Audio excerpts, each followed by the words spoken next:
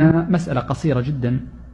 أوصي الحاضرين وأغلبهم من الشباب أن يعود نفسه في صغر سنه وحداثة أمره على أن يجعل له وردا من القرآن وأن يجعل له وردا من الصلاة.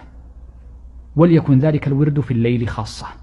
فإن صلاة الليل خاصة مهمة لطالب العلم. فإنها سبحان الله العظيم من أعظم الأسباب على الثبات في الدين. صلاة الليل هذه من الأسباب العظيمة على الثبات في الدين.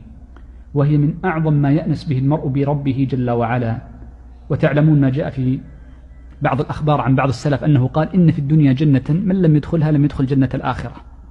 أعظم لذائذ الدنيا أمران الصلاة والعلم وأعظم العلم القرآن. هذه أعظم لذائذ العبادات بل هي أعظم لذائذ الدنيا. فمن فتح عليه فيهما فإنه السعيد.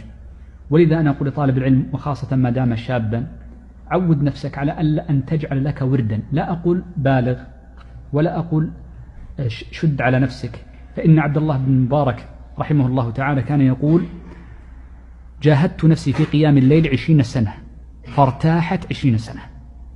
فالآن المقصود من هذه الدربة فيتدرب المرء درجة فدرجة حتى يصل إلى ما يرغبه. ولذلك اجعل لنفسك دربة في الوقت واجعل لك دربة في العدد.